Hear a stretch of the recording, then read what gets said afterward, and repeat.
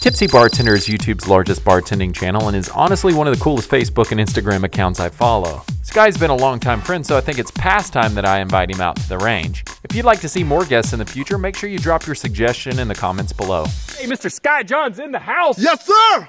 What's happening, guys? All right, so today we have uh, spiked up a watermelon here. Again, if you want to learn how to make any of these drinks that we shoot here on the range, go over to Tipsy Bartender's YouTube channel. He's got a Facebook and an Instagram. We're gonna shoot up some melons with the 50 cal. We're gonna learn how to spike them and everything, and we're gonna hit it with some slow-mo. This is a Long Island iced tea watermelon, homeboy, okay? Because we have vodka, rum, gin, tequila, triple sec. Only thing missing is sweet and sour and a splash of Coke. I got sweet and sour coming at you at 2,800 feet per second over there on the uh, shooting stand. So let's get to it.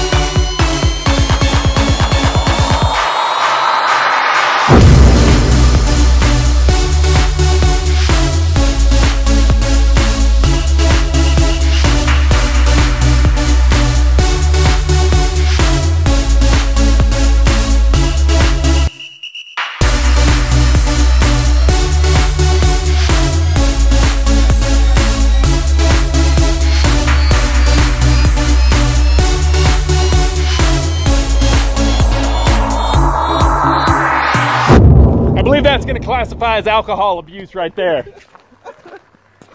Still some gin left. Nobody want that. yeah, good gin, okay? You can't even really taste the gunpowder. That's pretty much it for the Long Island spiked watermelon. Is that what, what do you call it? You have a special name for it? Yeah, Long Island spiked watermelon. There you go. There you have it, guys. You got the slow-mo, you got the mini watermelon, you got the big watermelon. Today got Mr. Tipsy Bartender himself, Sky John, in the house at the range. Go pick up one of his Let's Get Tipsy t-shirts. They're now on sale.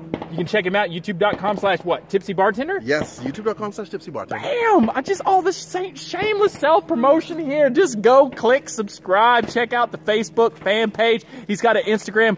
All the recipes, all the instructions for all of these drinks that you see us do, they're on his sites. So go check it out, and we'll see y'all next time. Later! Crops were good this year.